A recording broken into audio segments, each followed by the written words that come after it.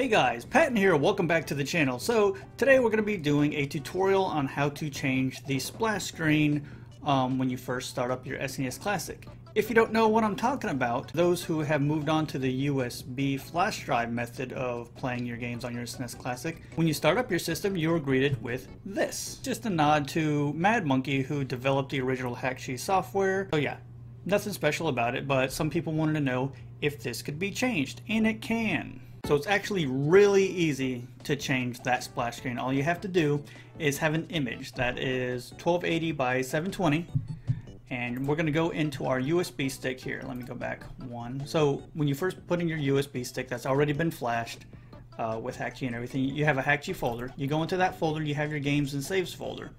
In here, you're going to take whatever image you want, rename it boot.png. We're going to copy paste. And that's it. Literally, that's all you have to do to change your Hakchi splash screen.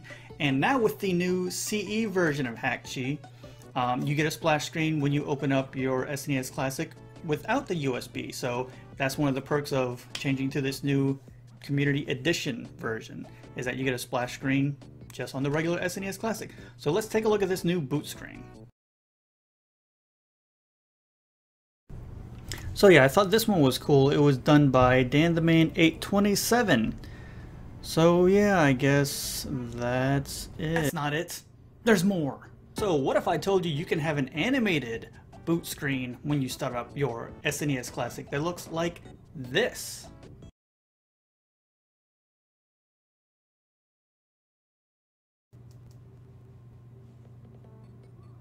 That was awesome! Yes, it was. So let me get my shout outs going. The first screen I showed you with the red um, background and the Super Nintendo controller logo, that was actually done by Dan the Man 827. Um, the one you just saw, the sweet Marvel looking one, that was from DefKorns. A huge shout out to ViralDNA on the Reddit forums. I've been going over there uh, more recently. So check out the, um, I think they're called subreddits uh, Mini SNES and Mini SNES mods. Go there. Those people are awesome.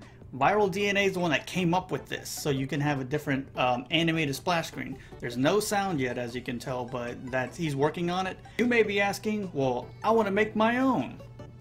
You can. We'll take that Marvel one that we did just now.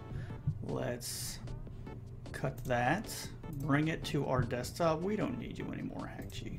Not right now. Okay, we'll paste it. Now, this is what you get. It's an HMOD. You right click it.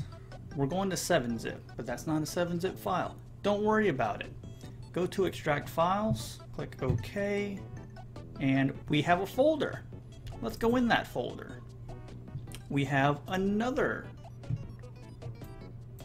file that we're going to go to 7-zip, and you can't see that, so let me move this over.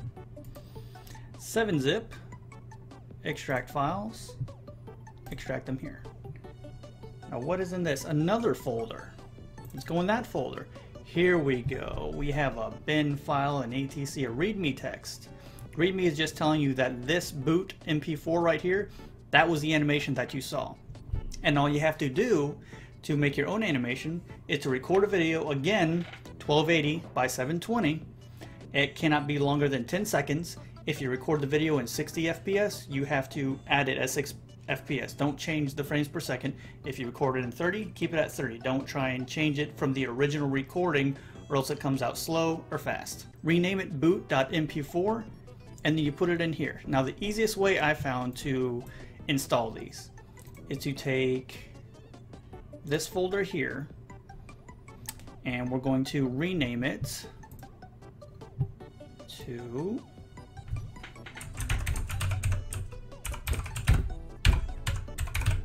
animatedsplash.hmod, I believe, yes.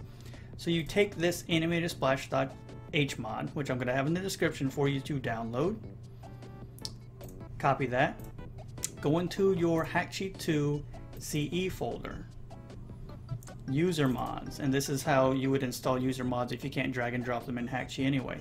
You're just going to paste it right here.